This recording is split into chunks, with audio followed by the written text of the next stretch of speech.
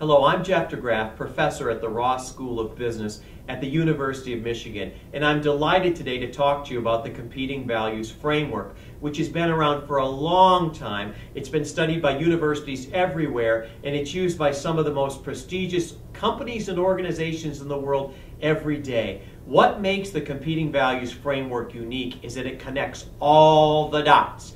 It looks at individual leadership behavior and how those behaviors produce specific types of organizational culture and competency, and how those organizational competencies produce very specific types of value. So it syncs everything up.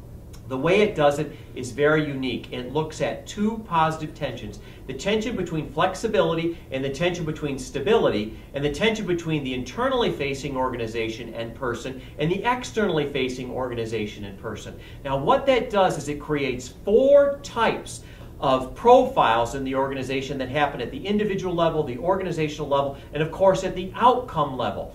The first type of profile that we have is what we call the create profile. The create profile is highly flexible and externally focused. When we think of this, we think about the person who does things first, the person who loves to do things new, the artist, the person who's the visionary, the revolutionary. This is where we think of, you know, Steve Jobs. We think of the person who's creating the future first. These are people who are held together by their vision. This type of organization likes to run a lot of experiments. This type of person loves to dabble in experiments. This type of person likes to speculate about what's going to happen in the future. And this type of person loves diversity. The upside, they're very much going to come up with the breakthrough solution. The downside, a lot of risk with this person. Now let's look at the other side. Let's look at the internally focused and stable person. Let's look at the control based person. This is the person who's held together by process. This is the engineer. This is the medical doctor. This is the troubleshooter. This is where there's a right way and a wrong way. This is where there's a lot of complexity, so we're going to see a lot of methodology. We're going to see a lot of process in this kind of a person. There's a lot of data that we have to uh, absorb here. Risk is not an option because failure is not an option here. Think about surgeons, think about people who fly airplanes. We've got to get it right. Usually there's a lot of what's called scalability, or these are very large kinds of endeavors that these people undertake. So they've got to get it right. So there, there's much less risk in the control quadrant, but there's also uh, more incremental innovation.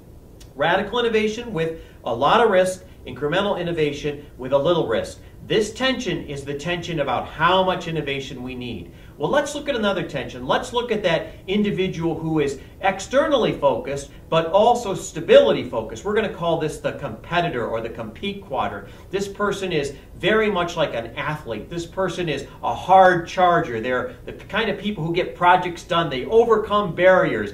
You know, they defeat their enemies. They're very goal focused because goals are what holds them together. They're very much speedsters, so they don't focus on the long term, they focus on the shorter term. They're very much interested in opportunities that they've got. So if they see that someone else has a solution, they're going to quickly go to that person, make whatever kind of deal that they need to make to get that solution in hand. The downside of that group is they're not very good at building sustainability in those organizations because they're really much more concerned about winning the game today. Well, let's look at the opposite of that competitor or that compete quadrant, and that's the collaborator or that collaborate quadrant. And that collaborator wants to do things that last. That collaborator is held together by the values that they have and the values that they're trying to instill in the organization. So these are teachers and community builders and counselors, and they love to network. They absolutely talk to everybody all the time about what's going on in their life and who might have an answer. They're very good at building these communities because they have, they have a sense of values and shared values that the community likes, and they're absolutely committed to training people and to developing people. So you often see them in groups. This group of people is incredibly good at developing a sustainable organization. So we might think of like a university up here, but they're not necessarily the fastest moving people. So the second tension is the tension about how fast. Do we go really fast and not be terribly sustainable, or do we go a little bit slower and develop that culture and competency that's going to make us sustainable? Now, there are three key things you have to know about the competing values framework. First of all, we're only as good as our weakest quadrant because we're going to need all four quadrants to create and to innovate. So we, if we're really great at, uh, at one quadrant, let's say we're great at the create quadrant, but we don't, we're not great at the, at the control quadrant, we're not going to be able to take that idea and make it a really large idea. We're just going to have a lot of really good ideas, but it's never going to be systematic enough to make it work everywhere. So we've got to have all four groups to make this work, and we've got to sync that up. The second thing is we have to build a portfolio. And the reason is one style of management isn't going to work everywhere. So we're going to have to manage our projects differently, and we're going to have to manage them differently at different times. So sometimes we have to start a project out really fast at the beginning in that compete quadrant, but over time we want sustainability, so we're going to have to put the sustainable person, that, that collaborator into that project as the project goes on. Now finally and most importantly, how we create is what we create. And one of the biggest challenges that people have is they'll want one type of outcome outcome, but they'll run a different set of practices and put different kinds of people on that challenge. So think about it this way. Let's say, for example, you want a radical new idea. Well, that's the create quadrant. That's what that person's designed to do. But instead, what you do is you, you, you want to create outcome, which is radical innovation, but you build a lot of systems and processes and metrics for that.